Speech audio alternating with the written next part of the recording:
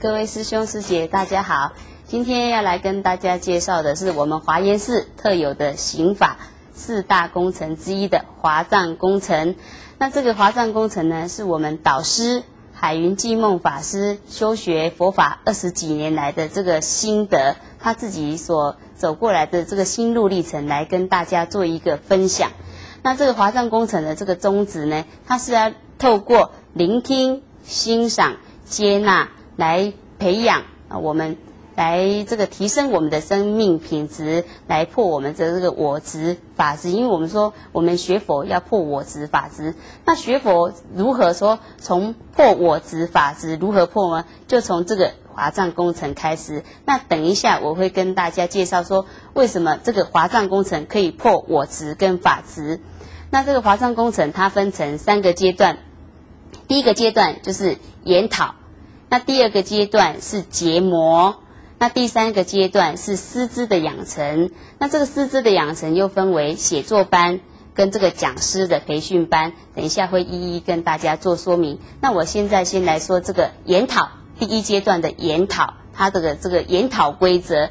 那研讨它又分为三个阶段：初级、中级、高级。那这个课程的方面呢，都都是我们海云法师的著作。或是说录音带，那也会配合说那一组的学生的程度，或是说他们有想要嗯研讨哪一个部分来做这个这个课程的这个选定。那研讨的规则，第一个，每一组三到五个人，三到五个人不能多，因为我们三到五个人，每个人每一次都要讲三轮，每一轮三到五分钟，我们才能够。来维持这个我们研讨的品质，研讨的品质。那在讲的同时呢，我们同学事前就要先做功课，把当次该周的要研讨的项目回去在家里就要先做一个重点整理，分三个重点。那每一个重点呢，我们来研讨的时候讲三到五分钟。那如果你不会讲，那可能就要哦，可能就要罚站，同学们跟你一起站个三分钟，就是要等。不能说，哎，我不会讲，我不要讲，或是怎么样？因为我们是在透过这个华藏工程来训练我们，嗯，我们的思维、我们的逻辑、我们的表达方式、我们欣赏的能力种种的。那透过这些呢，我们一定要自己不断的超越，不能啊姑息自己说我不会讲，我就不要讲，不可以。我们一定要每个人讲三到五分钟，讲三轮。那第一轮跟第二轮是我们就我们这个以当周研讨的部分内容来做一个发表。那在讲的同时，其他的同学是不能插意见，或是说他这是不能接龙，不能接下去啊。譬如说啊，前一个同学他讲说他的小孩子啊学业上有什么问题，或是说诶在。同学方面人际关系有什么问题？那下一个人他就不能接下去。如果再接下去就是接龙，他会把整个议题都把它好像会会走偏掉，没有办法把这个议题控制得很好，所以他不能接龙，他不能够接龙，要就我们当周当周所研讨的部分下去讲，每个人三到五分钟，这是第一个部分。那第二个部分就是在我们在研讨的同时。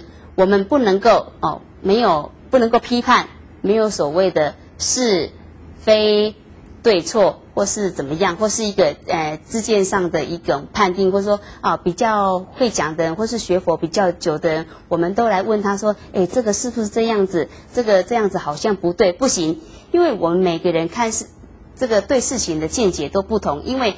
我们局限到我们个人的呃受的教育啊，还有我们生长的环境，我们的意识形态，乃至于说民主国家，每个人都不同，看的事情角度也都不同，所以我们是透过这个华藏工程来做聆听、欣赏、接纳，就好比我这个手掌好了。前面的观众朋友，你看到的是我的手掌心，可是我自己看到的是我的这个手背的部分。我们讲的地方一定是不一样的。那侧面的同学，也许他看到的就是大拇指，但那在另外一边的可能看到的就是小指。这当中没有所谓的对与错，只是我们这个欣赏的看的是角度不一样，没有所谓的对与错。那这个我们在研讨的同时，就是在训练我们欣赏的能力、接受的能力。因为我们现在人就是自我主义太强，我看到的才对，我说的才是你要听我的。其实我们，我们应我们学这个法藏工程，就是在欣赏别人的意见，那也在破除自己。因为你在欣赏。在聆听、在接纳的时候，也就是在自己破自己的我执跟法执，因为我们就是有自信那些的自我执着，或是说我们以我们用我们以往所学的这些东西来看事情，所以说我们会有我执、法执的存在。那如果说我们在研讨的时候，真的能够确实来来遵守这项规则，聆听、欣赏、接纳别人在讲的时候，我们就是静心倾听，就是欣赏。哦，别人有这种看法，为什么我没有这种看法？那他为什么会有这种看法？明明是同样的一些，明明是同一个，好像是一个主题，同同样是一一卷那个海云法师的 tape。那为什么我们三到五个人所陈述的重点都不一样，所看的见解也不一样？那这这其中唯有你自己来参加，你才会了解说，哎，这个中的好，你自己要来参加。这是第二点的部分，在这个我们研讨的当中，没有所谓的是与非、对与错，没有这个评断都没有。好，那在第三点的部分，因为在事前我们已经做了这个重点的整理。那第二点就是说，哎，在我们在市中，哦，我们就是哎，尽量的把我们觉得哎所谓的重点这样子跟大众分享。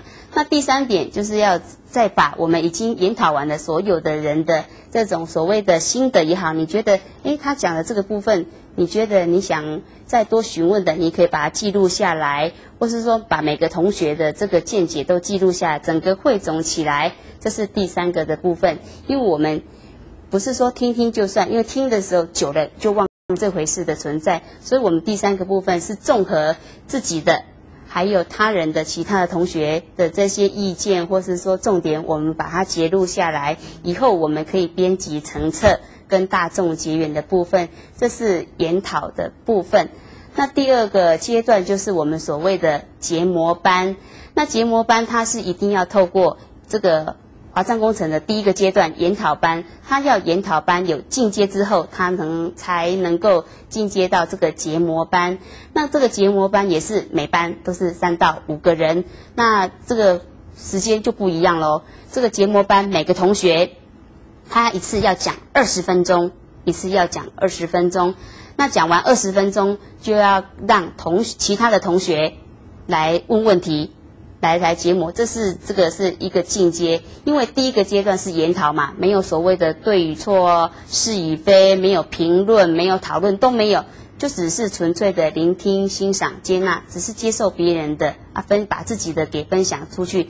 那第二个结膜班，它就有讨论的空间，所以要参加结膜班之前，他一定要有第一个阶段的基础，一定要有第一个阶段的基础。那结膜班是一个人。讲二十分钟，每个人都讲二十分钟之后，开始综合讨论，这是结模班的部分。那第三个部分是我们师资养成，那师资养成又分为讲师跟写作。那讲师的部分是一次五十分钟，就是一堂课五十分钟。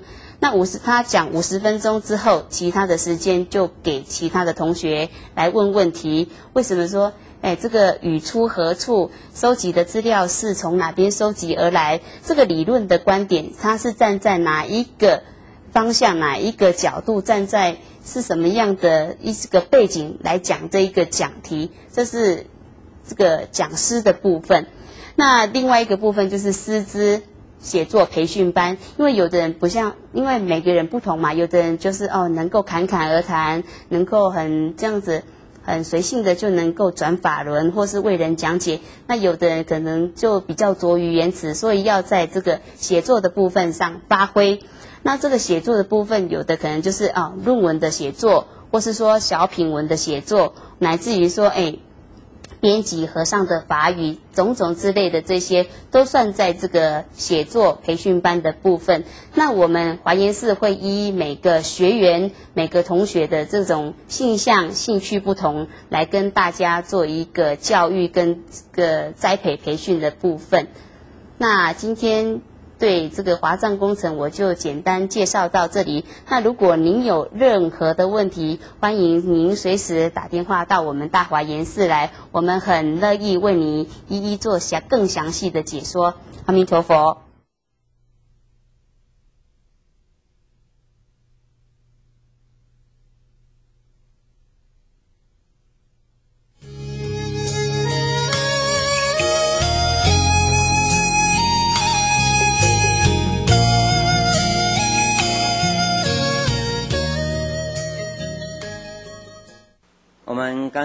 到心体离念，离念这个本身呢是一个动词啊，离嘛，心体呀要能够独立，不要被这个念啊所绊住。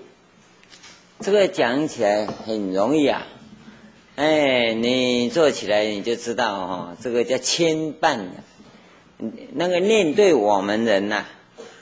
跟动物不一样，动物没有念，动物没有念，动物比我们更如来，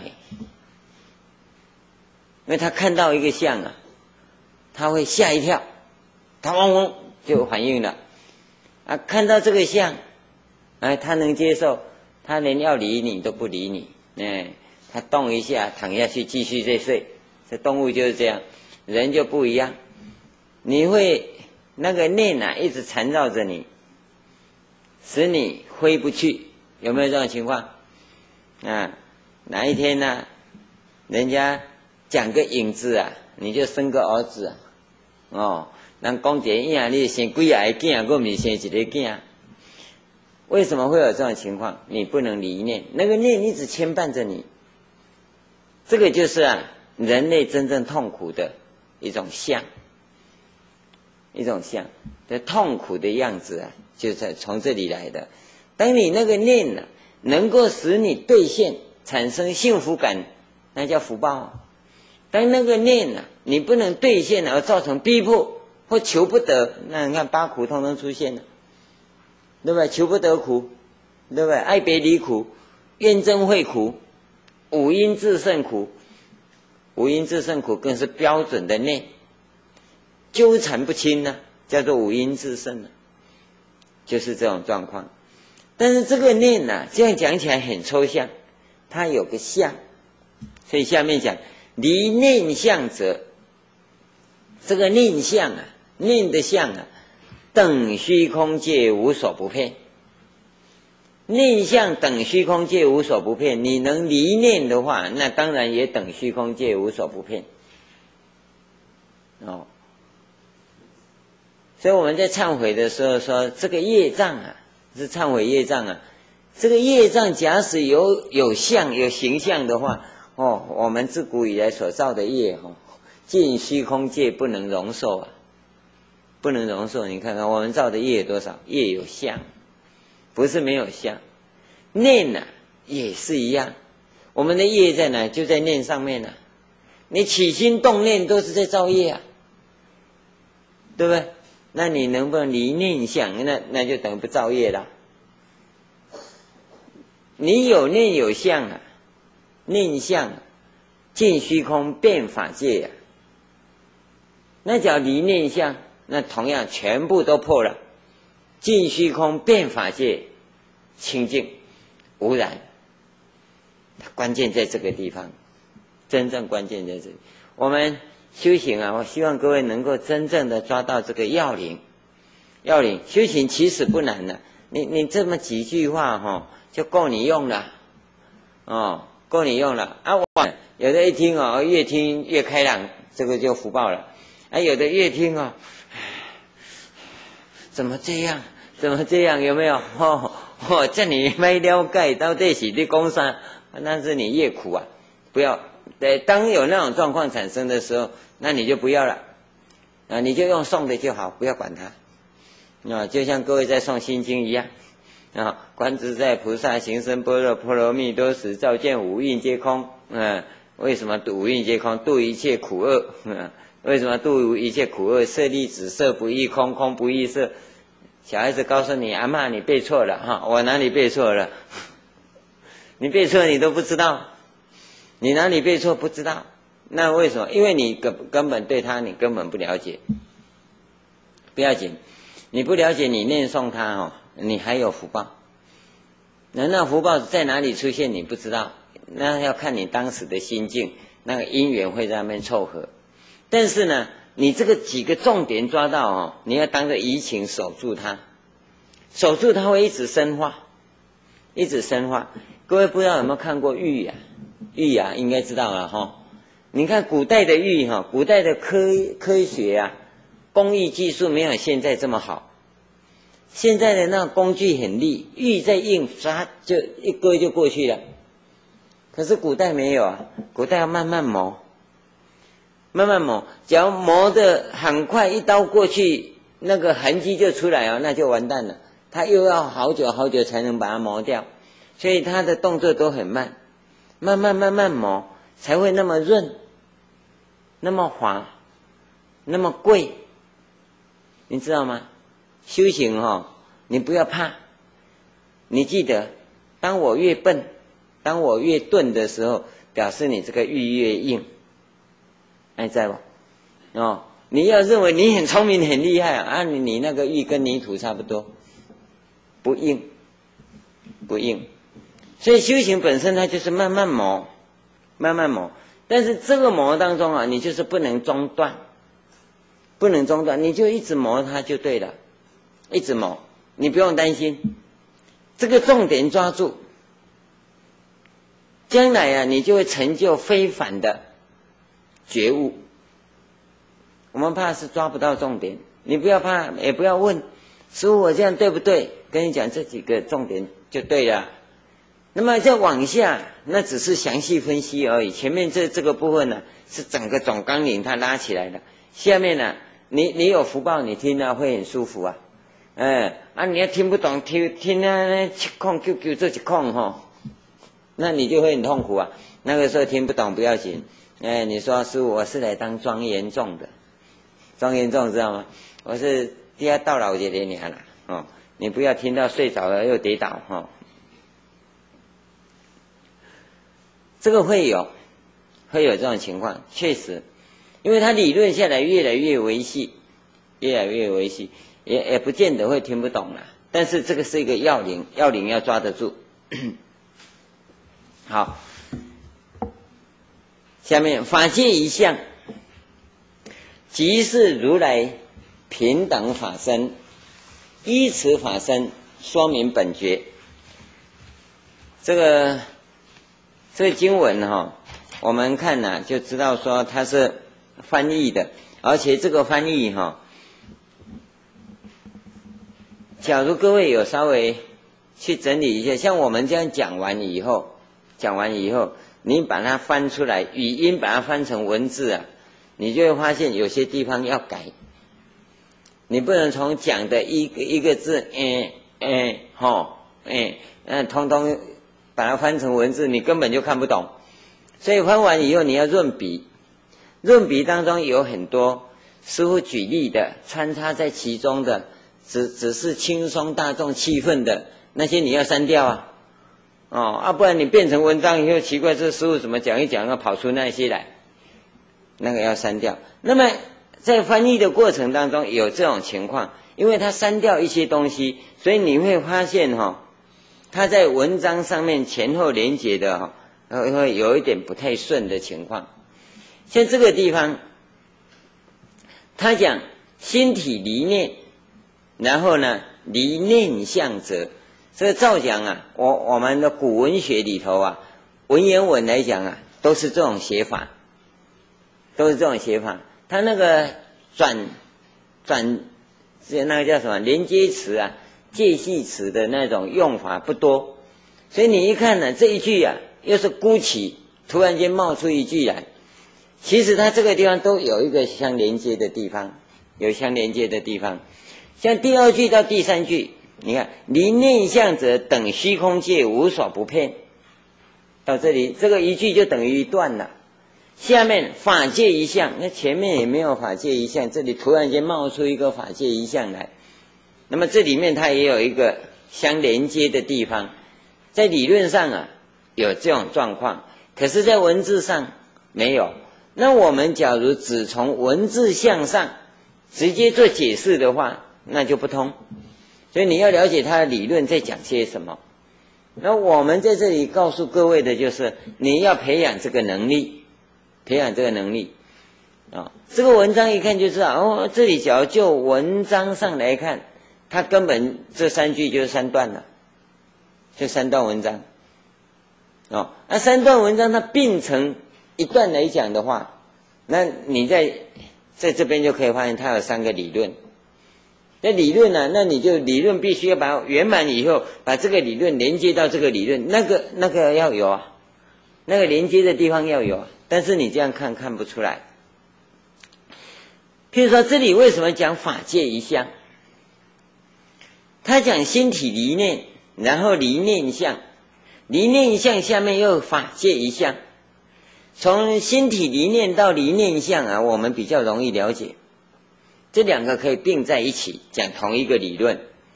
但是离念相到法界一项啊，那就没有那么简单了，没有那么简单。我跟各位讲，离念相啊，就是法界。刚才我们跟各位讲过，念相啊，尽虚空变法界，无所不在。哦，把这个念呐。牵缠不清呐，的这个部分我们叫做业念相啊，其实就是业相。那离念相啊，就是把业相全部消除了。那业相全部消除就无相啊，无相也是一相啊。整个尽虚空变法界无相，那就是只有一相嘛。所以佛法中在讲无相、一相、无念、一念，其实是同一个东西。无空空相就是一相，空相不是零相，空相是一相。哦，无相也是一相，那一相叫无相，只是这样而已。呃，所以我们说一念，一念就是无念，因为无念就是一念嘛。你想想看，你就慢慢去体会，对不对？一片一片晴空。你会说，我什么都没有看到，我什么是什么没人都没有看到？你看到的是晴空啊，青色的，有没有？晚上回家，门打开，灯还没开，你看到什么？没有啊，一片漆黑，我什么也没有看到。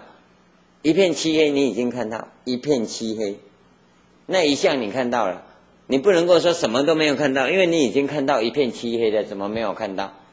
所以，当它统一成为一种状况的时候，就变成无了，有没有？晴空万里啊！你说什么都没有？什么叫什么都没有？什么都没有就是一相啊，有没有？同样的情况，所以离念一相就是无相，无相就是法界一相。我们懂得它的那个背景。佛法的语言模式跟思维模式的背景以后，那这个你才能看得懂。那你要是不懂得佛法所讲的那个理论背景是什么，你现在看这个你就真的傻住了，就傻住了。所以他这里有一些转折的那个地方啊，离念相即是无相，无相即是法界一相，那法界一向即是如来平等法身。那那这样你就就能够了解了，所以你要从文字上来呀做那一种解释啊，那那你就前前后理论连不上来，连不上来，然后就会去绕圈子，绕圈子讲一堆理论来接啊，那你又变成看不清楚，那就跟前面一一样，不生不灭与生灭合合，不生不灭跟生灭怎么合合？那就变半生半灭了，对不对？生灭加不生灭，那不是半生半半灭吗？这个不是煮地瓜哦，说熟了没哦，还没熟，熟了生的，那加起来变成半生熟，不是，这是两种状况，啊，这两种状况可以平行，平行，现在这个地方呢，它就有次第的这种地，我们叫什么地变啊？它有那种转化的这种过程。好，这个法界一相，为什么说如来平等法身呢？如来法身，如来是自性啊，自性还有平等不平等吗？没有，自性啊就是法身。这个讲到这个地方来啊，那就牵涉到啊佛法修行中的复杂性。我们脑筋一钝化以后啊。开始僵化以后啊，对于啊维系的地方啊，你不太能够用心，不太能够用心，所以修行啊就逐渐的被什么被简化，简化到最后啊就变成啊一无是处，到最后每一个法门出来啊都是哈三根普被，啊，那那都不得成就。不得成就。任何一个法门修行啊，它都是啊生命改造的工程。生命改造的工程啊，不但维系，而且是很繁重的。生命改造没那么简单。哎，你不要看说哈六祖哈，人家一听就悟，哎，人人家人家人家广清老和尚哈，这个这个那个那个很快就觉悟了。嗯，我们恐怕没有他的本质，没有他的本质。广清老和尚，你知道，他二十岁以前呢，他被人家卖了，家人呐，因为没得饭吃啊，你知道吗？你知道他身世吗？啊，因为他是我师父了，所以我懂一点，哦，讲给你听了。他爸爸就把他卖了。哦，说好听一点，不好意思，说爸爸把他卖，被人家卖了，哦，卖到南阳去做长工，那时候大概七八岁而已，七八岁的小鬼啊，你知道吗？就卖到南洋去当长工啊，南洋我是不知道哪里，不知道马来西亚、印尼呀，反正到那边当当长工。到了二十岁的时候啊，他爸爸死了，爸爸死了，所以呢，那边的主人呢。主人呢？哈，那大概就是那边的华侨啦，绝对不会是 是土人呐。那边华侨啊，就叫他回来，帮家帮他爸爸处理后事，处理完毕呀，就剩下他一个人。那要到哪里去啊？要再到南洋去，要缴船费呀，船票啊，对不对？船钱啊，要买买买买票上船呐。啊，没有的话怎么办？所以他就在那个时候。很单纯的出家，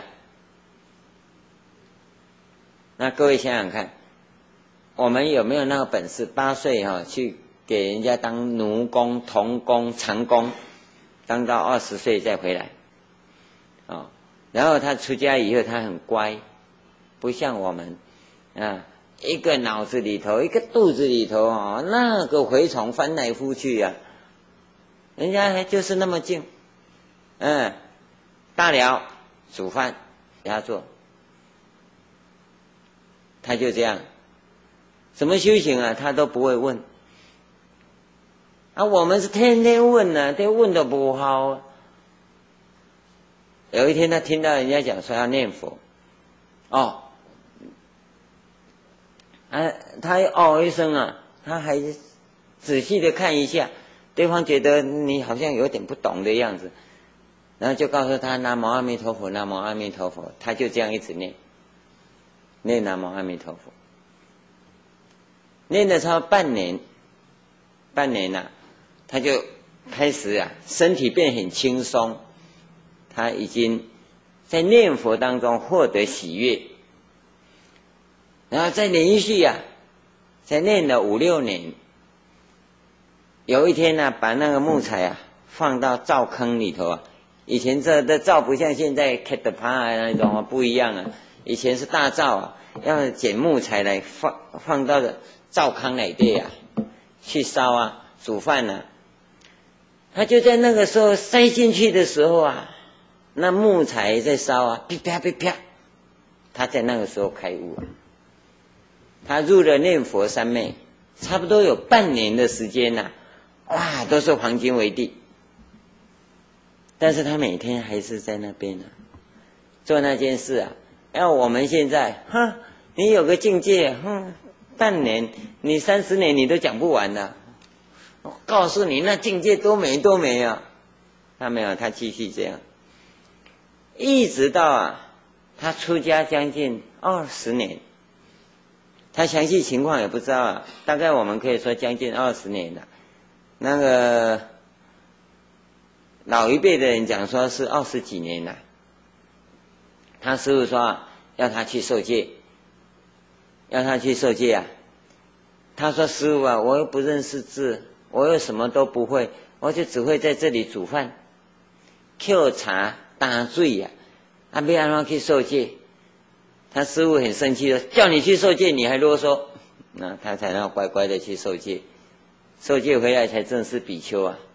就在那个时候，就在那个时候，我们基隆市啊有一个铁路局的一个站务员呐，到那边去打斋，认识了他，就邀请他说有空啊到台湾来，啊他就这样子，刚好光复后，他就搭船，第二次搭船，哦到基隆，从基隆下下了船呢。那一个邻居是好像邻居是，就供养他，请他在那边住一段时间。后来他就搭火车到台北，然后台北转车啊，大概搭错车啊，搭到新店去，所以他的发展区域都在新店这一带，知道吗？哦，你不要学他，哦，他的苦行哦，你大概受不了。嗯，他当时上去的时候，身上扛着三根三根甘蔗。然后上山去呀，就没下来。刚好那时候有一栋日本的房子，有没有？那公鸡不熟悉啊，日本人撤退啊，啊留个房子在那里，他就住在那里。他住了很久都没有下来，啊有个人上去看他，他已经病倒在那边，快死掉了，才背着他去给医生看。嗯，从此以后他只吃水果不吃饭，所以叫做追锅山龟鸡书。是这样来的，那他怎么修啊？他很单纯，很单纯。我们你修不会成就，不要怪人，只怪我们不单纯，就这么简单。他没有什么，一辈子就这样平凡，平凡中啊，显现出啊他生命的耐力，那才有可能。而我们要不平凡，那你就没办法。所以不要看那个部分，在这个地方我们要懂得，它一定是一件呢非常繁重的生命改造工程，它不是一般想象的，弄个手段就好了。你要像他这样子，一个南无阿弥陀佛打到底，可以，不是不行。那你有没有够那么单纯，而且不执着？有坚持没有错，但是不执着。你听懂吗？要有所坚持啊，但是不能执着啊！啊，我们是有够执着，一点都不坚持，你知道吗？你要坚持什么？你要不执着什么？我们能掌握得到吗？这个是他。大善根气呀，我们不要光学这种大善根气啊，我们可以赞叹、敬仰，但是你学不来，学不来啊！一个肚子里头蛔虫加猴子啊，那在那边斗啊，你你你怎么能修行啊？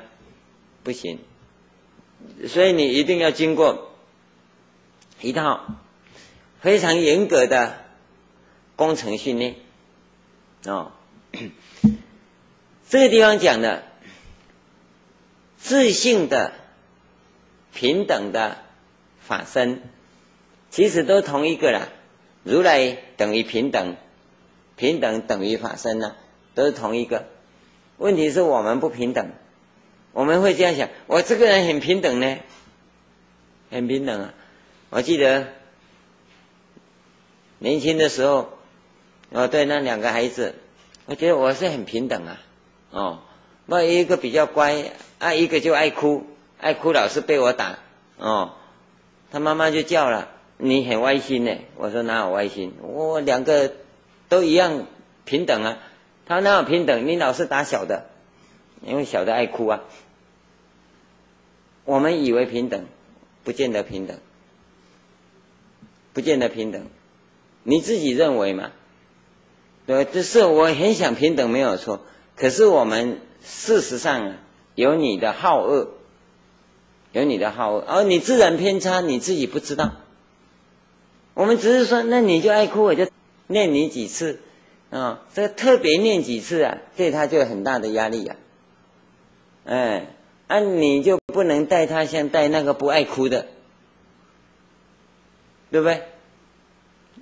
哎，就要有人提醒你，你才会嗯，对哦，哦，对对，已经不平等了，已经不平等了。所以我们不要把它当做我自己想象的那种平等。不要这样想，我们说到平等，我们就要惭愧，我没有办法平等，我要重新来过，我要继续努力。那么你要自己慢慢的从各方面去举证，各方面去举证。啊，在吃饭的时候，哎，道场当然大了很慈悲呀。哎，你不喜欢吃的你就退出来，哎，喜欢吃的你再讲再加给你，呵呵，你就知道看你平等不平等。那你要平等就同样吃下去啊？为什么还有退的？对不对？菜不够，为什么老是要你要的那一种？你怎么不会眼睛闭着？你随便教我随便吃，你就不平等啊？你你说我都很平等，很平等，你讲的。那上帝在上面看，那家伙又在不不不不平等了，然后他嘴巴又在讲他很平等，这个就是一个心理上主观的偏见。主观的偏见，我们自己不知道。修行就是要训练，让我们看到这一点。而自信本身呢，它是不分别的，不分别。所以我们常跟各位举例说，一块石头跟一块黄金在一起，黄金不会伸脚把石头踢走。哎，你是石头，我是黄金呢，你怎么可以跟我站在一起？不会，石头也不会说：“哎呀，我这么难看呢，你是黄金。”石头也不会。他两个在一起就是平等，那我们呢？不一样啊，不一样，有没有？自己慢慢去想想看。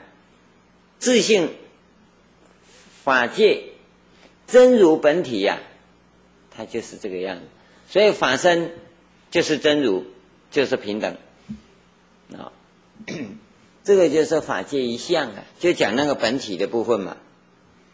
法界一相就是这个东西呀，啊，它这三个不是三个东西，是一个东西，啊，透过这个名相，我们了解到，然后依此法身或者依此真如啊来说说明本觉，说明本觉，不是说明本觉的啊，说本觉是什么？哦，这个名字叫本觉啊，所以它四个东西等于同一个。啊。我们常讲说，我们学佛是要觉悟。我们为什么要学佛啊？是因为我们始觉，我开始觉悟了。在人生茫茫大海当中啊，这样生死沉沦啊，我们一辈子啊辛苦的奋斗啊，有没有？大家都很认真的工作啊，聪明才智也不输人。认真工作哈，没像马也像牛，哦，戏也做做凳啊，啊，好像都也没有什么搞头嘛，哦，成功的机会哈，往往都比失败的机会小，失败的机会啊，往往都比成功的机会大。那为什么？好，你现在不管怎样，终于想通了，啊，重新来过，这个叫死绝，哦。死觉觉的觉悟什么？死觉啊，刚刚觉悟啊，你觉悟到什么？觉悟到我有本觉，觉悟到有我有本觉。为什么有本觉啊？因为我原来不觉，知道吗？因为我不觉，不觉什么？不觉我有本觉啊，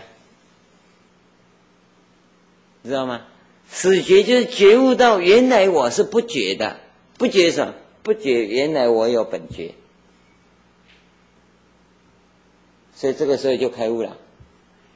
真的这样觉悟的人呢，这个叫悟后，那你就可以修了。悟后起修，我们有没有觉呢？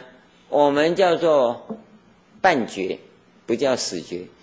看你又有觉悟，哎，说你有觉悟，好像觉得不太正点，啊，有点偏，有点偏，啊，不过偏的好像不太远。不过你焦距计没有调整哈，你照出来的相片都蒙蒙，大概没有一张相片可用。但是你大概都知道是什么，可是你就看不到本来面目。有没有这种感觉？嗯，慢慢再想想看。你说在人生中你有所觉悟，要不然你不会来听，也不会学佛，每天那么认真的拜，哎，要死不活的来学北传的哈，肉又不能吃，嗯，只能吃素，对不对？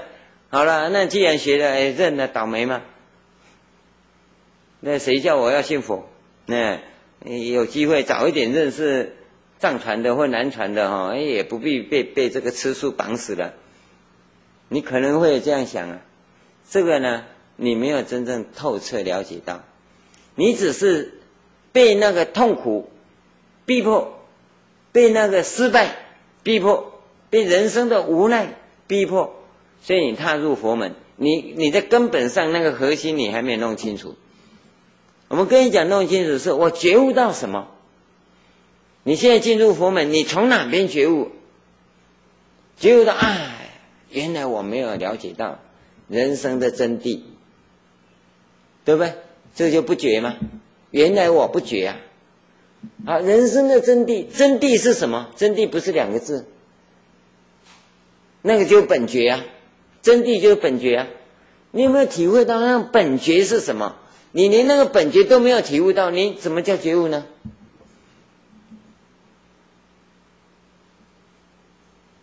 对不对？昨天很累啊，我 跟台中的 师傅讲说，明天不要上。我说我睡醒就给上啊，那这很清楚吗？昨昨天也不知道几点睡啊，反正睡下去呀。早上听到电话响，我就想啊，电话响不要有人接嘛，哈，就继续睡。奇怪，怎么又电话又响了？我想啊，对哦，这个房子只有我一个人。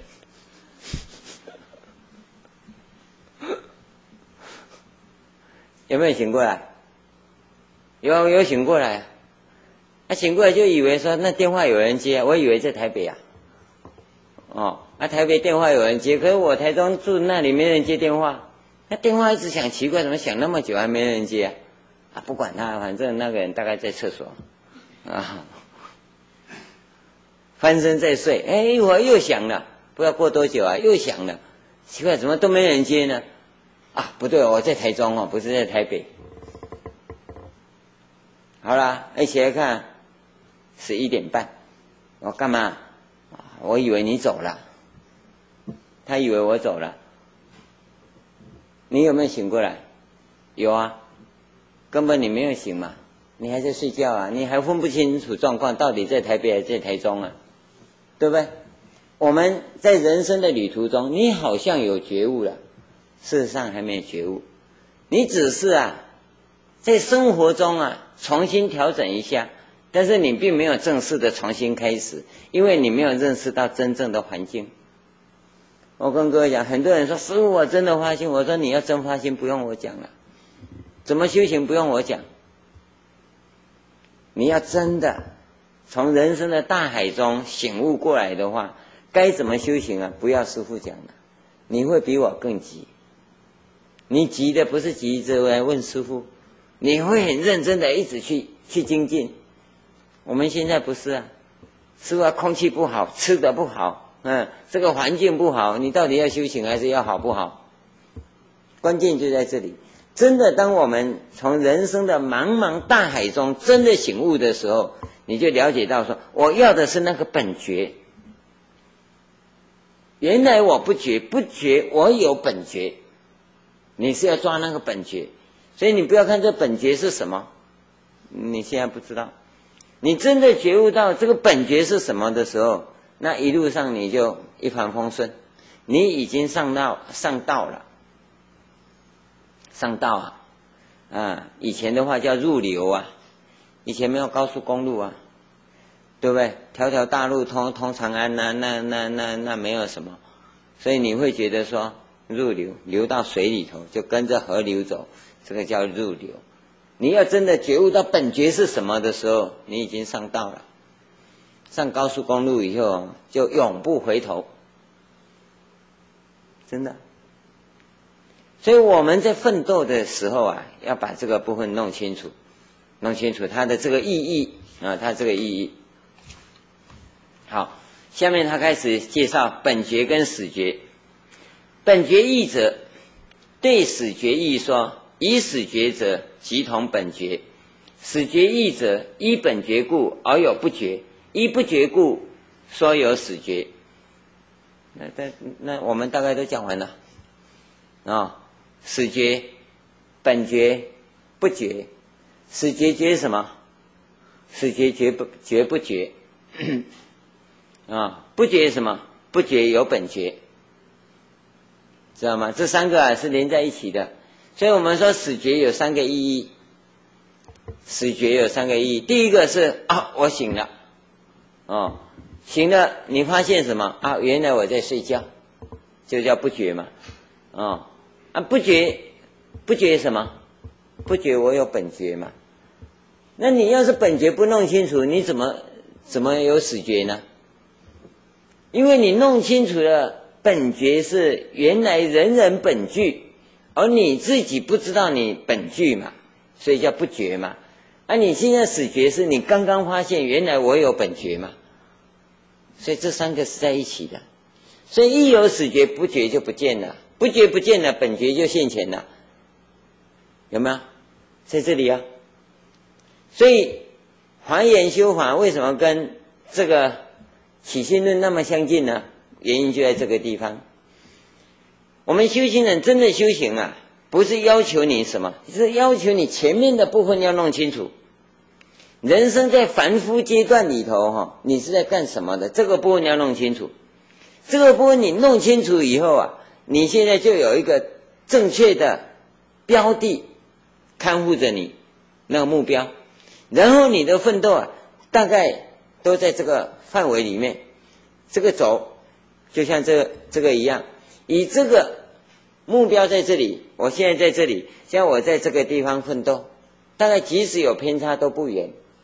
所以我们跟各位讲说，我们是个凡夫在修行，你不是圣人。所以你有时候会偏差，会跑出去，会跑出去，那不要紧，你要赶快调回来。跑出去要调回来，跑出去要调回来，不要太在意说啊，你又犯戒，你又怎么样？不要太在意那些，那你要懂得一定要调回来就对了。啊，凡夫是出去以后不懂得调回来，你知道吗？乃至于他越跑越远去了。我们现在标的已经确认了，所以你要一直调在这个范围里面。所以随着时间，我们在这个范围里头啊，你一直的进步啊，我们往外偏差的那种幅度会越来越小，越来越小，乃至于啊都不偏差，那个才叫成就。所以我们现在华严的修法就告诉我们说，你觉悟以后啊，在这样的标的之中，这样的规范之中来奋斗来努力，这个叫果地觉因地心。果地觉什么？本觉已经知道了。本觉已经知道了，那你一般人不是？然后我开始要学，要学什么？不知道，所以就外在的约束会很多，外在的约束会很多。然后当你有所偏差，这个不对，那个不对，这个不对，那个不对，啊，你天天就在那里，这里对不对？那里对不对？一直在那边调这些。换句话说，这要求你当一个圣人呐。因为你只有对跟不对在那边对立，你不知道那核心是什么。现在我们是先把核心定出来，起信论的这个原则啊，是跟华严的思想相吻合，所以起信论是华严的根本论点，原因也在这里，也在这里。那么从这个地方来看，到底是先有起信论还是先有华严经啊？那我们不知道，我们不知道，啊，我们也不不去做这种研究，但是我们可以说啊，在当时印度的这种环境里头，我们可以说啊，这个思想是很普遍的，所以《华严经》有这种主张啊，起信论也有这种主张，它应该是同时来的，同时来的，啊，所以我们从这个地方来看它的意义啊，跟它的价值。在下面，又以觉心缘故名就近觉，不觉心缘故非就近觉。他这个地方把究竟觉跟非究竟觉啊这样分开来，因为觉呀是要觉到觉悟到心的本源呐，那个才叫做究竟觉。只要不能觉悟到心的本源呢，就不是究竟觉。哦，那为什么这样区分？那这里面呢，在华严里呀，它分有几个几个这种这种层次啊。那我们现在先来看看这个起信论呢，它怎么分？第一个，如凡夫人。觉知前念起恶故，能止后念，令其不起，虽复明觉，即是不觉。哦，这个起的恶念呢，那想一想不对，不让他去付诸行为，那就把它止掉了。哦，它不再发生，这个也叫觉悟。但是这个觉悟是不觉，起恶念的这个部分呢，不是我们所讲的觉悟。但是他有没有觉呢？他也觉。这个叫凡夫觉，哦，凡夫觉，这个只从阿耨多罗三藐三菩提上面来讲啊，这个觉呀，只叫觉，不叫正觉，因为阿耨多罗三藐三菩提是分成无上正等正觉，那么这当中第一个层次啊，会觉悟的叫做觉，正确的觉悟叫正觉，啊，所以阿罗汉叫正觉。凡夫都会觉，啊，觉什么呢？哎，你在学东西，学了老半天学不会，忽然间哦，原来是这样，哎，那你通了，这个叫觉悟啊。哦，以前台湾刚光复的时候，嗯，外省人到台湾来，看台湾人呢，墙壁挖有个水龙头，一转呢，水就来，哎，那么这这这些阿兵哥啊，就哦哦哦哦。这个台湾很厉害，嗯，在墙壁就会出水啊！哦，不要跑到河里去挑水，他到五金行去看，哦，就是这个，就买一个回去装在墙壁上，转一转水不来，你这个坏了，给你换，有没有？哎，换了又装了，水又不来，又拿去再换，嗯，卖的人觉得很奇怪，你怎么了？啊，第三个又来呀，干脆就把店给砸了，叫警察来问了，哦，你装墙壁就会有水呀。然后去看别人的哦，原来他墙壁里头还有一条水管，哦，啊，他觉悟了，觉悟什么？这个不是我们讲的觉悟，啊，他这个叫哦，原来如此啊。这个凡夫觉呀，是属于这个部分。第二个就如二圣观智、初发意菩萨等，觉于意念意念无意象，以舍。出分别执着相故，名相似觉，啊，这个叫正觉，正觉啊，我们在这个地方啊叫相似觉。那我们在前面呢，相似觉的前面《华严经》啊，它是分有一个叫明智觉，觉悟了，觉悟是觉悟了，还没修行，哦，觉本觉以后啊，还没修行的，叫做明智觉。所以我们叫花心菩萨，这菩萨已经花心了。哦，你不要高兴，那叫明智觉，名字上叫菩萨，名字上叫觉悟，还不算觉悟。这我们叫信位菩萨，可能你在修行，但都在摸索阶段，叫明自觉。那么进入啊，这个实住、实行、实回向位修行的，那叫做相视觉，相视觉。那第三个，如法身菩萨等，觉于念住，念无住相，以离分别出念相故，名随分觉。他这个随分觉啊，就是《华严经》上面所讲的十地菩萨叫随分觉。不过他这个分别呀，跟我们所讲的还是有点区别哦。第四，如菩萨地境满足方便，一念相应，决心出奇，心无出相，以远离维系念故，得见心性，心即常住，名就近觉。这个在华严里面呢。是属于圆满觉，啊，那么在这个起信论里面，它也分这四个呀，但是这四个跟那个不一样，跟华严经讲的不一样。它这个地方讲的这种划分法是起信论的划分法，在随分觉这边呢，那华严经是分十一位，十地加等觉，这个叫十一位。那么第四啊，就近觉呀，那是成佛的妙觉。那四十一位法身加第四十二个就近觉，就成四十二分。所以我们常常有一些地方用四十二来表法，是指这个意思。那么这里面哈，有始觉，有明智觉，有相似觉，有随分觉，有就近觉。这个叫五味，有不觉，不觉也有死觉，死觉以后圆满觉，这个叫三觉。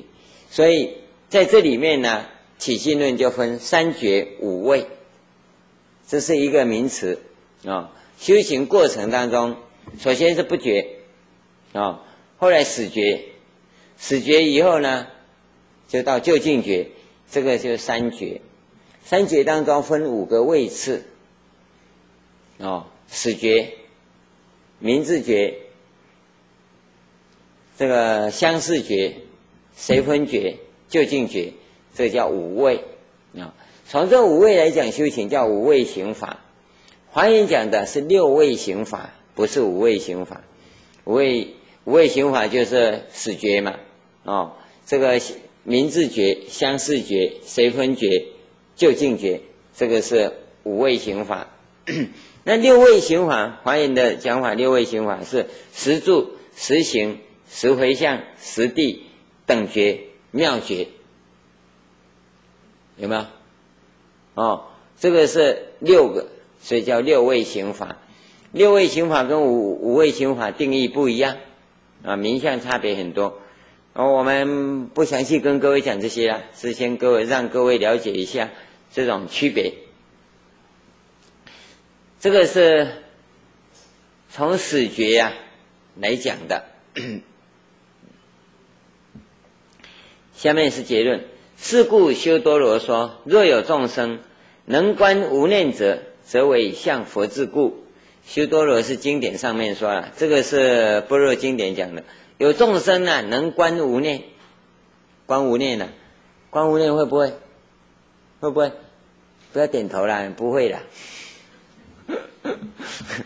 师傅骗人，大家都很乖哈。对对对，我会。无念你怎么观？会观无念的功夫是很高啊。你你的心念你都摆在有念的地方，你不会摆在无念的地方。哦，我们是凡夫啊。你当有人骂你以后，你就会去想，他为什么骂我？他我又没有对他怎么样，他为什么骂我？你看你一直有念啊。对不对？他骂你骂骂就归他骂嘛，他神经病管他骂，对吧？我何必跟他一般见识？放下一切，你能不能把心摆在不理他的地方？这个叫观无念哦。所以我是举一个例子啊，我们的心念呢，你是会放在啊有寄托的地方，所以不会修行，我们就给你一个念，念什么？念阿弥陀佛。啊，念赞巴拉，赞巴拉知道吗？就财神呐，哦，或者是念哦玛尼贝贝哄哦，哄也好，牛也好，马不要念马就好了，随便啦哦，啊，有一个给你念，你心安住在那里，其他的都丢掉。当你在这个地方一念不乱的时候，这一念就无念了嘛，你知道吗？我们还没到那个地步。当你真的把心安住在这个一念不乱，那个时候你就什么都没有了。那个时候空境会现前，那你安住在那空境的时候，假如你有经教的训练，那五六字带起来，你会起无边的妙用。但是没有的时候，至少那个境界是无相、无念。但是我们没办法到那个地方啊！你一定要借着有一个东西给你一直念。那不会修行的人，就是念念阿弥陀佛，阿弥陀佛啊，骑着自行车，阿弥陀佛，阿弥陀佛，越念越快哦，加油越快哦，那你就知道那那有有多好玩啊！这这个时候啊，你心念专注啊。你的身体啊会跟着相应，这个时候都是凡夫行，叫做有依修行。真正修行是无依修行，你一但是无一修行，你一定要透过有依，到某一个阶段你才会停下来。也就是第一个阶段呢，你要透过这一念，把一切妄念都丢丢掉，都丢掉，这第一个阶段。第二个阶段呢，你这一念呢会调整你的心性。哦，你的念佛会很稳定，不会快也不会慢。你的生理呀，生理冲动啊，不会被你这种念佛的境界所左右，不会左右他。那这个才进入第二个阶段。到这个时候，你自然到第三阶段，你自己进去就没有话说。所以你现在有什么境界，有什么成就呢？你不用讲，讲的都不算，讲的都在第一阶段。因为到第二阶段以后，你就不会去讲它了。但第三阶段是不可说，对不对？有没有？留意看看。所以你不要老是跟人家讲你修的如何如何，你越讲你修的如何如何，人家听的人笨蛋，根本就不会修，还在吹牛。真的有功夫啊，用功夫的人，他到那个境界，他不讲了，那讲也没意思。我讲给你听，你也不懂啊，对不对？我有用功啊，你没用功啊。你看会写字的人。他写字写到某一个程度，他不会讲了。哎，内行人看你就知道，那外行的才刚写的哦，我写的我写到秋到丢，人家一看就蔡家啊写字。你为什么会讲那些呢？因为你刚开始，所以在第一阶段里面讲的都不是真的，都是一种喜悦啊，初的喜悦。所以前面讲初分别。粗的很粗的一个境界，啊，所以他说：若有众生能观无念，能观无念呢，就是啊，这个众生趋向佛智的一种现象。你看看这个修行的要求啊，是相当高的，相这个要求是相当高。我们今天呢，先讲到这里，这个时间呢，很算很快，啊。